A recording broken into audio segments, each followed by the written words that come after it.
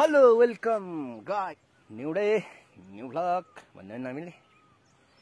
आज भ्लग बनाउने छोडिसकेँ आज यसो बनाउने मुड चलेर हो गाइजहरू म अहिले खोटाङ जिल्लामा छु। अनि यो चाहिँ का गाउँ बसाएको अन्तिम दिन हो। भोलि काठमाडौँ जाँदै हो। अनि यसो पर बाँस घारीले छेल्याएको छ।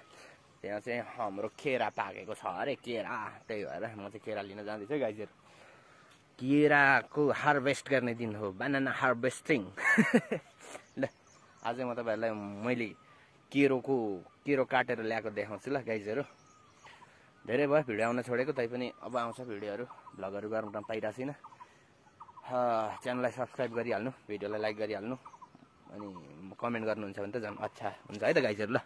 इन्जोय मेक इन्जोय म तपाईँको यतातिरको ठाउँहरू देखाउँछु लास्टै दामी छ गाउँको ठाउँ है त। ल गाइजहरू मसँग चाहिँ डोको छ है। यो चाहिँ भरे केरो काटिसकेपछि चट्ट यसमा लाएर ल्याउने हो। यो मैले बोक्ने डोको हो। आज चाहिँ मेरो मम्मीले बोक्ने डोको हो यो चाहिँ। अनि यहाँ खुकुरी छ।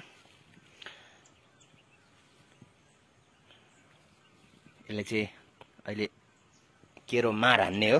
होइन गाइजहरू? अनि म चाहिँ छु।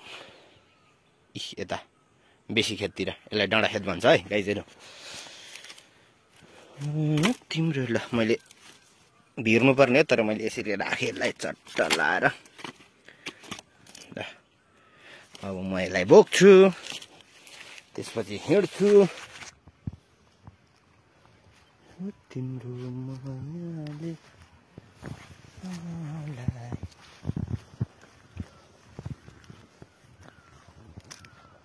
तपाईँलाई पुतली देखाउने कोसिस गर्छ है त बस्छ कि बस्दैन मान्छे आएको देखेपछि भाग। पुतली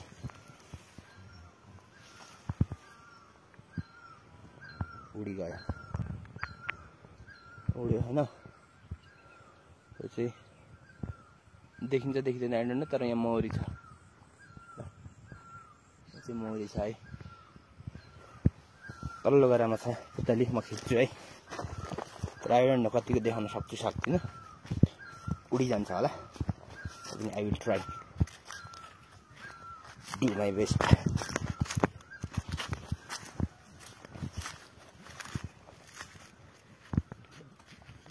I'm trying to capture the butterfly on my camera. तर म जता जता जान्छु भागे भागे गर्छ अघि म माथिल्लो गरामा थिएँ उस तल्लो गरामा थियो म तल्लो गरा आएँ गाइजहरू त्यहाँ छ है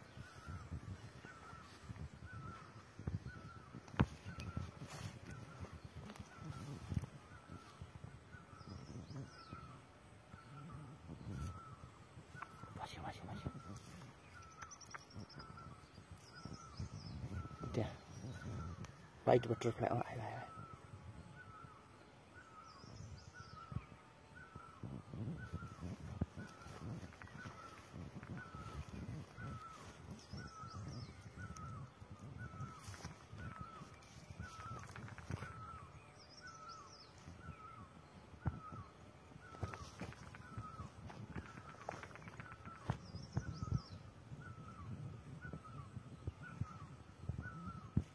आयो देख्दै हुनुहुन्छ होला।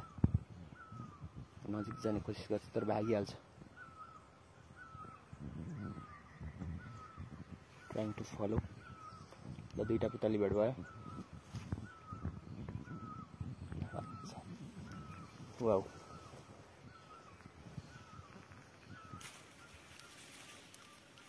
गाइजहरू यो फाइनल ट्राई है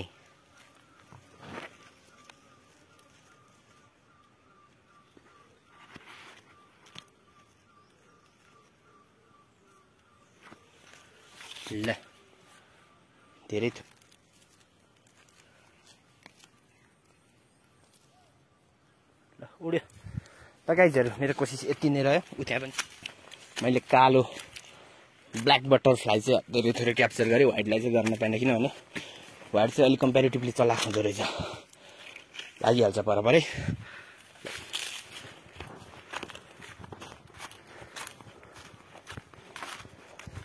चैत्रको महिना छ। पातहरू पुरानो पातहरू झर्ने अन्तिम समय हो यो। अनि चैत्रको अन्तिम वैशाखको सुरुवातसँगै नयाँ नयाँ पालुवाहरू पलाउँछ। दिउँसो पख त घामले डढाएर अत्याधिकै अत्याधिकै गाह्रो बनाउँछ। तर बेलुकी पख चाहिँ शीतल शीतल हुन्छ ठिकै हुन्छ। अहिले शीतल शीतल कुल कुल भइरहेछ। यो चाहिँ बाँसहरू काटेको हो यो। बाँस काटेर सुकेको चाहिँ यस्तो हुन्छ। टुप्पा भयो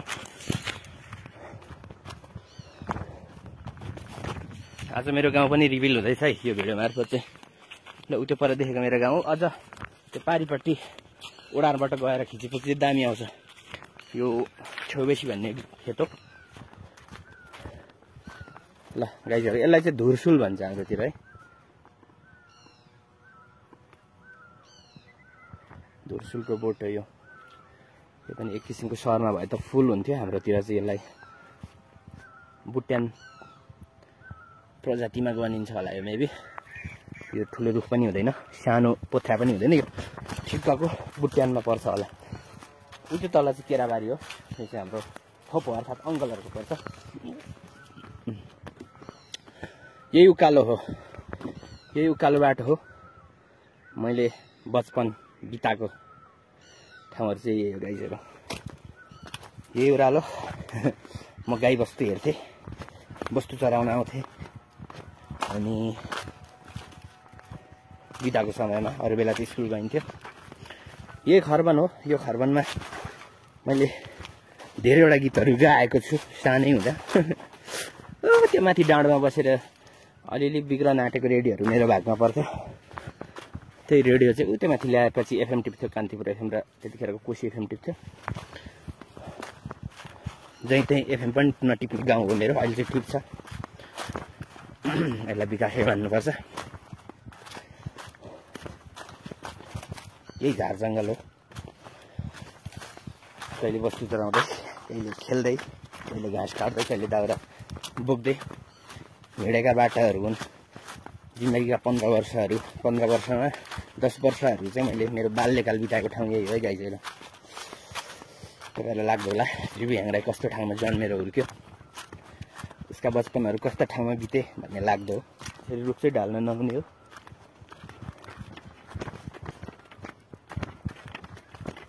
है धेरै उजाड पो देख्दो रहेछ त। रुखहरू लडाउँदा त। धेरै खाली खाली महसुस भइरहेछ मलाई चाहिँ। यो ठाउँ किन किन? पहिले आउँदा त एकदम हराभरा हुन्थ्यो। सबै बुट्यानहरू काटिएको रहेछ अहिले चाहिँ। किन काट्नु भयो?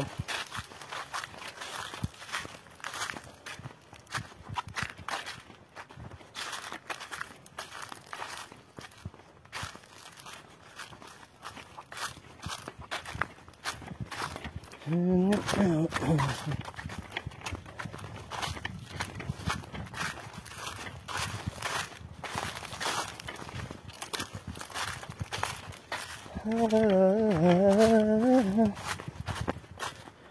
हामी कम्युनिटी चिहन डाँडाबाट चाहिँ चट्ट लाएर रिलक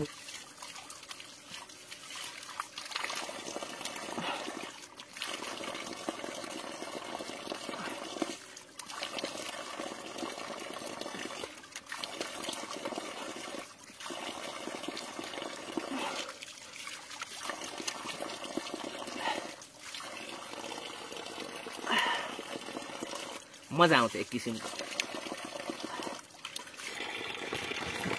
सहरमा मोबाइल लड्यो नि गाइज। अलिक धेरै बोल्यो कि क्या? मोबाइलै लड्यो है। मेरो मोबाइल भ्लग बनाउँदा बनाउँदा चिप्लिन्छ होला हौ कुन दिन। सहरमा मिनरल वाटर खानेहरूलाई के थाहा? गाउँको स्वच्छ मुलको पानी कल कल खानुको मजा। होइन गाइजहरू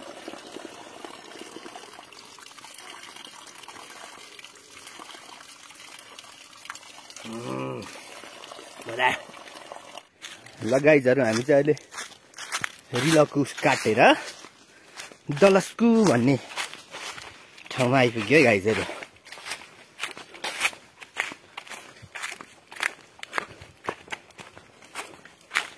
यो दलस्कु भन्ने ठाउँ चाहिँ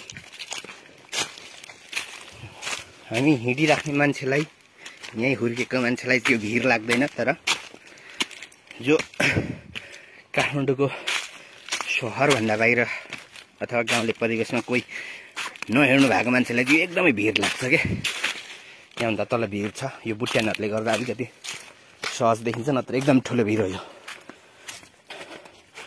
सानो बाटो मात्रै छ।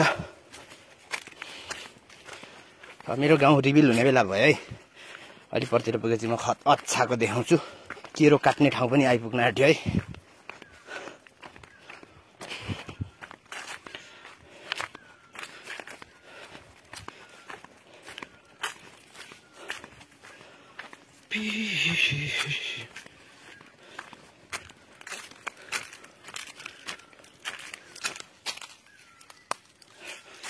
म हिँडिरहेको छु यो बाटोभन्दा तल माथि चाहिँ एकदमै धेरै मौरीहरूको भुनु सुनिरहेको छु। यसमा चाहिँ क्याप्चर हुँदैन होला। तर मैले चाहिँ सुनिरहेको छु एकदमै यो धयाहरू भन्छ। धयाहरूको फुलै यो खान पनि मिल्छ। रस हुन्छ यसमा। यो फुल फुल्ने मौसम भएर होला।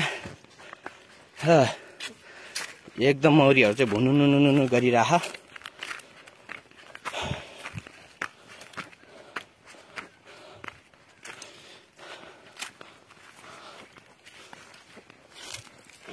दलस्कुमा तिनवटा ओडार छ। यो अन्तिम ओडार हो। यो ओडारमा हामी बस्तु हेर्दा बस्ने घर बनाउँथ्यौँ। यहाँ बस्तु हेर्दै गर्दा तल बाली खाएको थाहा पाउँदैन थियौँ हामीले। आगो फुक्ने ठाउँ पनि छ। यहाँ चाहिँ चट्टा बस्ने पानी पर्दा घाम लाग्दा। ल गाइजहरू अब चाहिँ मेरो गाउँ हेर्नुहोस् है त। वान टू थ्री ग ल। ऊ त्यो पर देखिने चाहिँ मेरो गाउँ हो। ऊ त्यो बिच सेन्टरबाट आएको अहिले मेरो घर त्यता पर्छ। यता हुँदै यता आएको म। ल। उता परको रिलाको छेउ बेसी डाँडाखेत अनि बेप्ला गाउँ। है त गाइजहरू ल गाउँ हेरिहाल्नु भयो अब यहाँबाट अलिक परतिर गएर ओह्रालो झरेपछि आजको हाम्रो डेस्टिनेसन आइपुग्छ।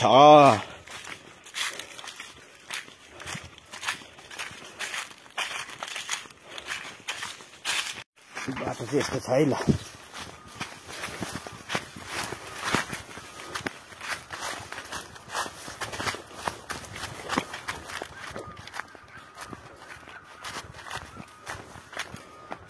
त्यो तलको चाहिँ चङ्खोला भन्छ। पुरानो सानो हलेसी दाम तपाईँले सिँढी पनि देखिरहनु भयो होला।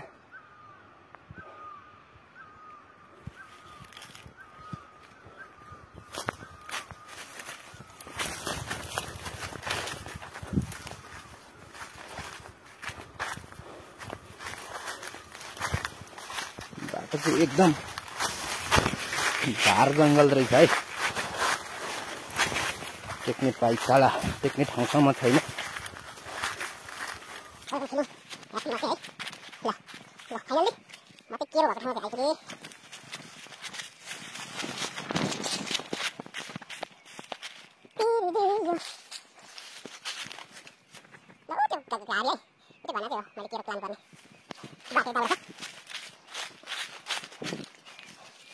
Yeah, I'm going to go to the house.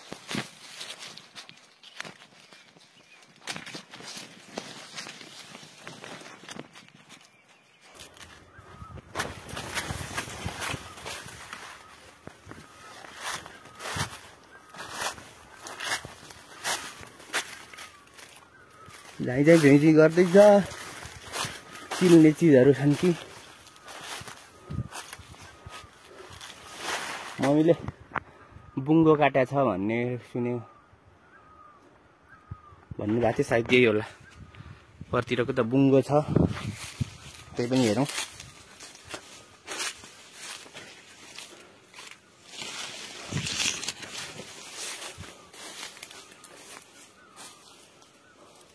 यहाँ पनि छ एउटा केरो तर यसको बुङ्गो काटेको छैन। होइन? बुङ्गो भनेको चाहिँ उता टुप्पालाई भन्छ है। केरा कहाँ पाउँछ पसलमा पाउँछ भन्नेहरूलाई चाहिँ यो चाहिँ जवाफै केरा चाहिँ यस्तो बोटमा पाइन्छ। यसरी रोप्नुपर्छ। अनि मात्रै केरो आउँछ है त गाइजहरू अब त्यो केरो बोटबाट आउँछ है त। पसलबाट होइन। अब चाहिँ म केरोलाई मार हान्छु ल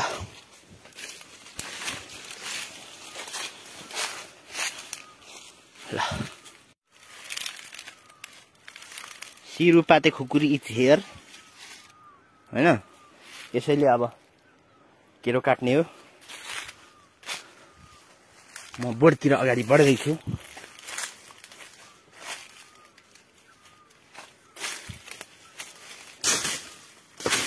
यो चाहिँ बोट हो है गाईहरू केराउ त्यो माथि छ ल, कति चट्न छिनिन्छ हेर्नुहोस् है त ल वान टू ए एक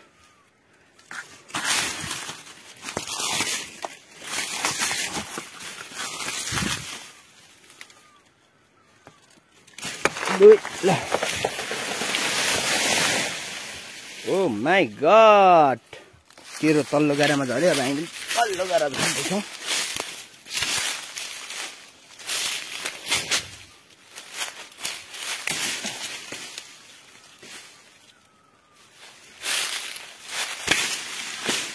घारी छ गाई घारी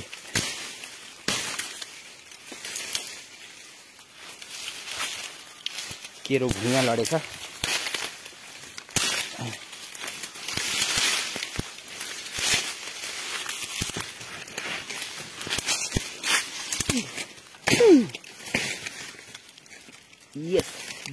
Banana. Hey!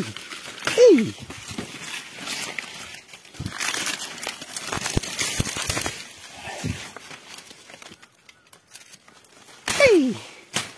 ल हिरो चाहिँ यसरी भुइँमा लड्यो गाइज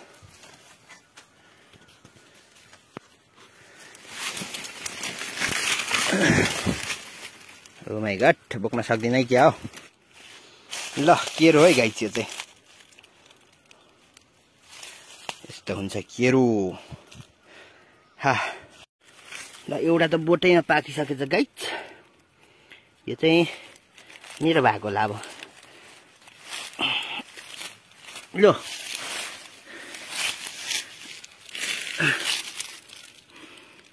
बोटमा पाकेको केरो। है। अब यो म केरो खान्छु तर म फोटो खिच्छु। यस्तो पाकेको थियो भनेर भरे सुनाउनु पर्छ अब फेरि काँचो केरा ल्याइस